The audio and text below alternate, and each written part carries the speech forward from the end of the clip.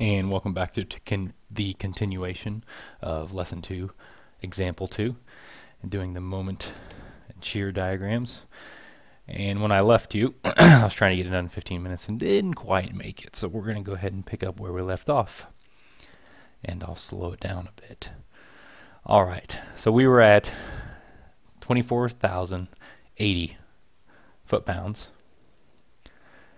at point of, I guess you can call it kind of a point of inflection, the point where it changes. That's going to be your max moment right here. And you'll find that the zero points are usually your max moment. This is a zero where it intercepts on the on the shear diagram. It's going to be your max moment on the moment diagram. So that's why we went ahead and calculated where x was. But anyways, so we're on area 5, which this right here is A5. And in, reality, if you have calc paper, you can calculate all these areas off to the side. what you'll do is you'll do A1 equals this, A2 equals this, A3 equals this, and so on and so forth. But blah, blah, blah, blah, blah, blah. And we kind of already did that just in our heads. But we're on A4. Let's put A4 down here, blah, blah, blah. Okay. A5 equals, remember it's negative because it's a negative shear. So it's going to be start going down. It's going to decrease on negative on your moment. And if you're very well versed in calculus, this will all make sense. The slopes and the areas and whatnot. But I suggest you go to Khan Academy to get that, or I will do videos later in the series to make it work and make it a little bit more well understood. All right, anyways, back to it. A5, area A5. It's a, well, first of all, it's negative. So I did two equal sign. Let's go back and make negative since it's going to be, it's, it's a negative Vx, so it's going to be a decreasing Mx. So it's negative, it's a triangle, so it's 0.5, and the area is, it's going to be 6 minus 2.825, which is 5.125, and that's distance right here, 5.125 feet.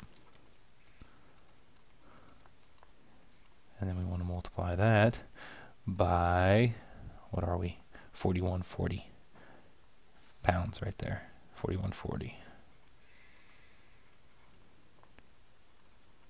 And you really could put this negative over here about a negative 4140 because this is negative.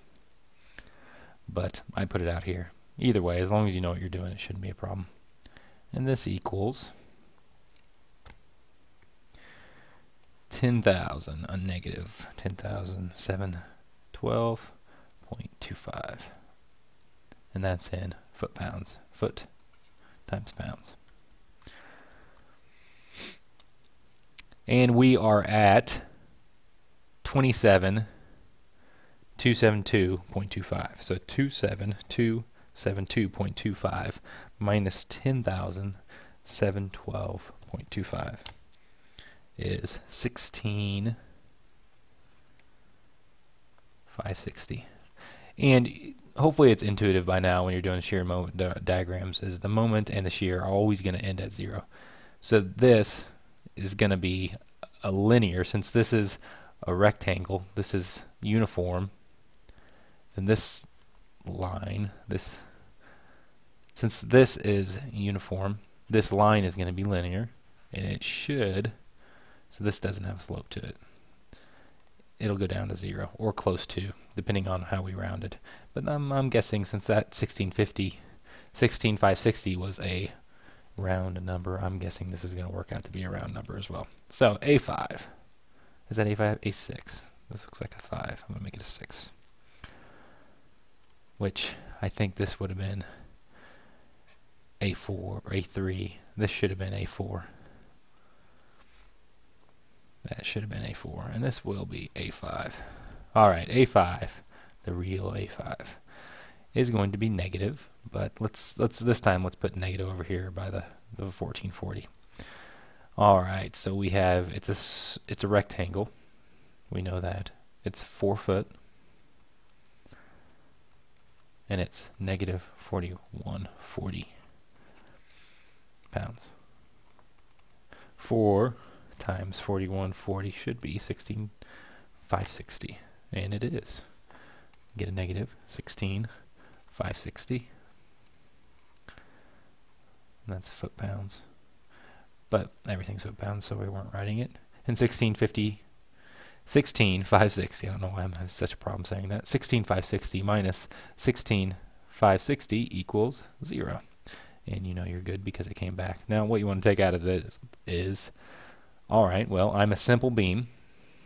This is a simple beam, which in time you will come to see, well, it will make sense that it's a simple beam, so it will not have any negative moment. Uh, it will just make a smiley face it will deflect like a smiley face, and that's positive moment. If it had, for instance, if you had, let's say, and I think this is the next problem, it's the overhanging beam. The overhang beam will have positive moment, and then it should have negative moment in this type of area. Actually, it'll go all the way to the end, negative moment, as long as it's fully if say if it had a uniform distributed load, it'll have positive moment when it smiles, and then when it at some inflection point when it starts to go negative, it will have a negative moment. But hopefully that will make sense in coming videos.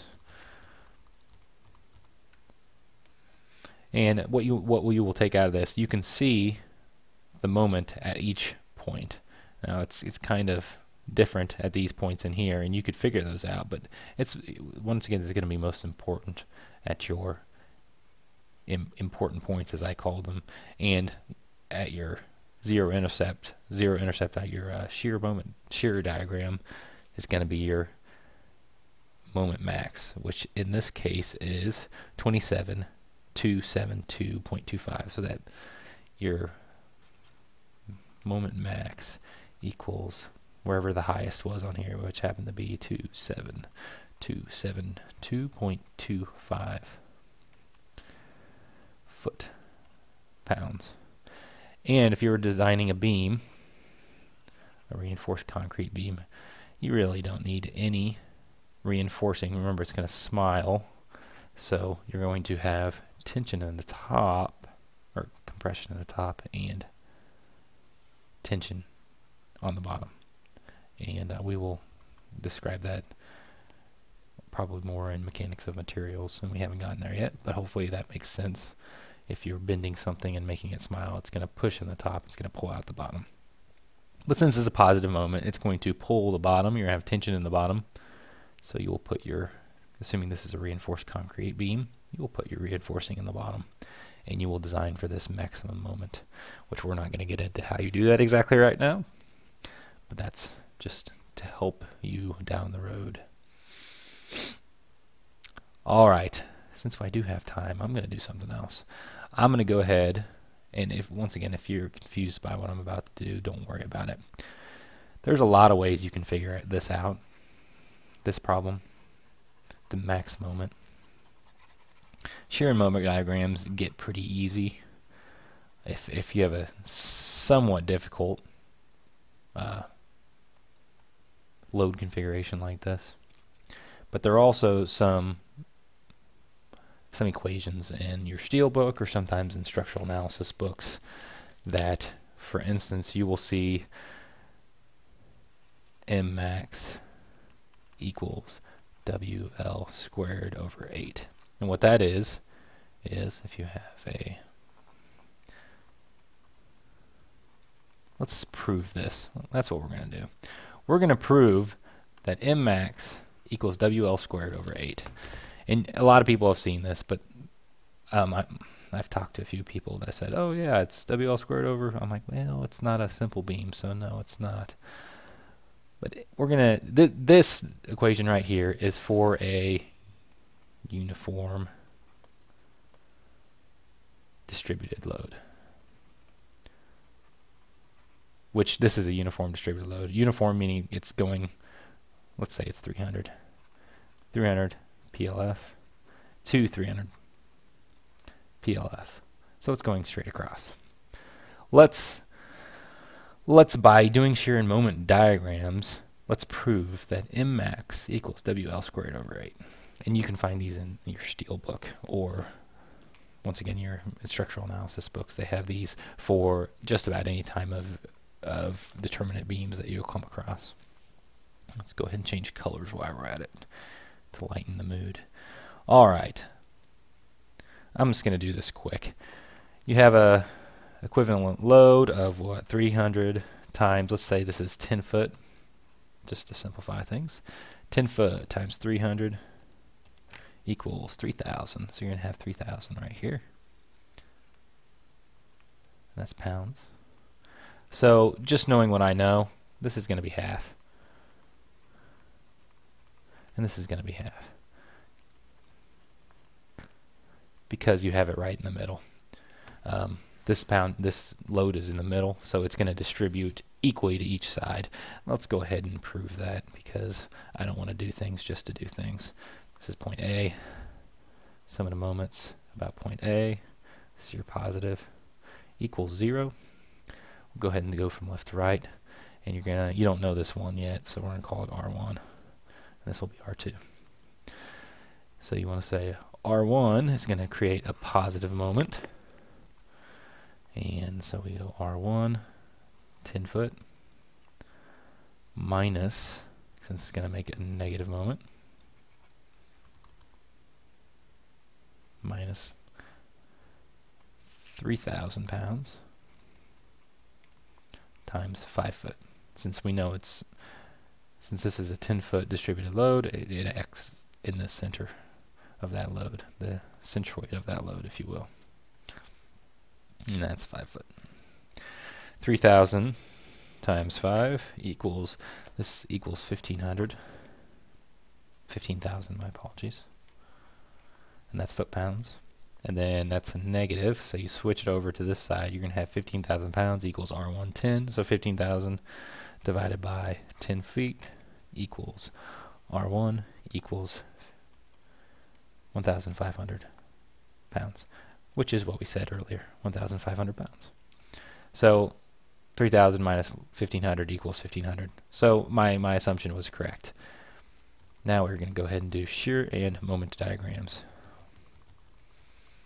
I'm going to go all the way back to get rid of this 3,000 pounds, and I'm going to put 1,500 pounds back. And I can't do that. All right. I'm going to run low on time. Son of a gun.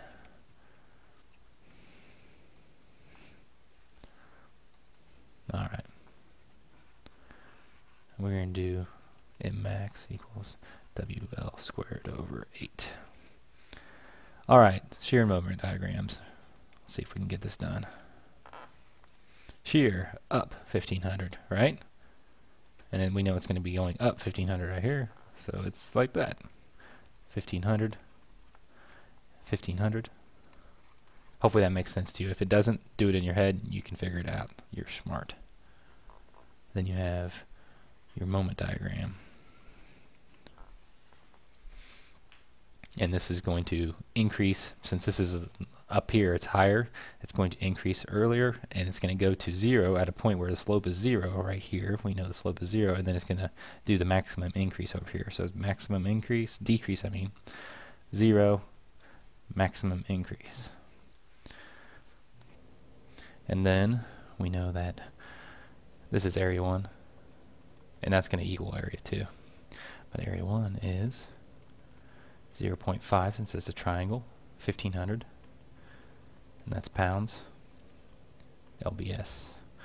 And then it's 5 foot, and that equals, that equals 3750, and that's foot pounds. let's go up here, 3750. So that's our max, and it's in the middle.